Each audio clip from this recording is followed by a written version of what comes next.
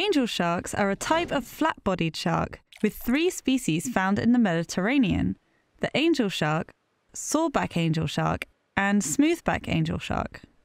All are critically endangered on the IUCN Red List of threatened species due to population decline as a result of historical overfishing by target fisheries, incidental capture in modern fisheries, and habitat loss and degradation.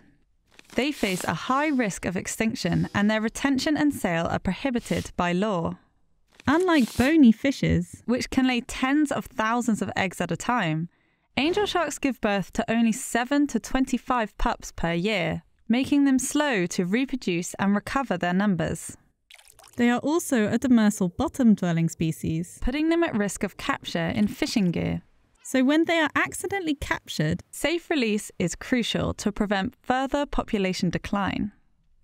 How to handle safely. The anatomy of sharks leaves them especially vulnerable out of the water, so careful handling and quick release are vital to their survival when caught. Fishes. Prioritize action when an angel shark is entangled in your nets. Carefully untangle the shark to avoid harming them. Handle carefully and support the shark with one hand under the body and one hand holding the tail. Never lift it by the tail, fins, or gills, or use a gaff or hook. Release carefully by lowering the shark as close to the water surface as possible. Do not throw the shark.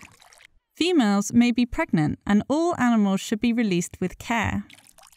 Report the catch using the QR code provided on your boat, or go to the Angel Shark Conservation Network.